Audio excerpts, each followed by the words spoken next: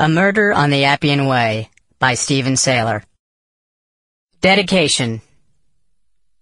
To those who taught me history, beginning with Iva Cockrell, and at the University of Texas, Professors Oliver Radkey, M. Gwyn Morgan, Richard Graham, and R. David Armstrong. A note on the names and hours of the Roman day.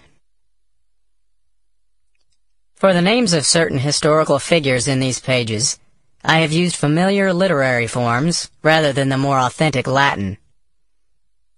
While their contemporaries never referred to Marcus Antonius as Mark Antony, or to Gnaeus Pompeius Magnus as Pompey the Great, these traditional versions carry such a magic that it seemed merely pedantic to resist them.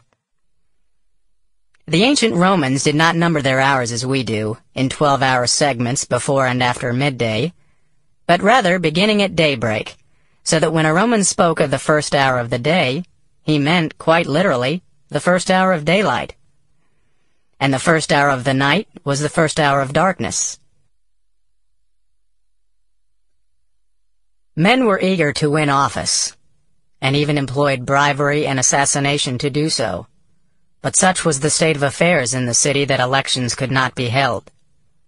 With no one in charge, murders occurred practically every day. Dio Cassius, Roman History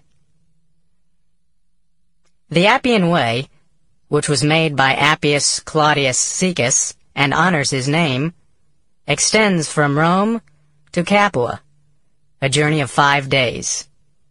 Its breadth is such that two wagons going in opposite directions can easily pass one another.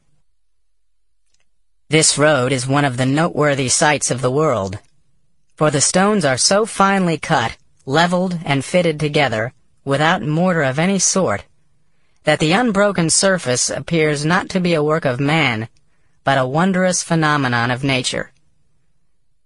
Procopius, Gothic Wars Stop quoting laws to us.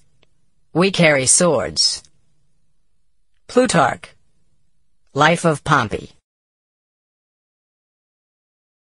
Part 1 Riot Chapter 1 Papa, wake up! A hand gripped my shoulder and shook me gently. I pulled away and felt the cold air on the back of my neck as the blanket slid away. I snatched it back and snuggled against it, burrowing for warmth. I reached for Bethesda, but found only a warm vacancy where she should have been. Sample complete. Ready to continue?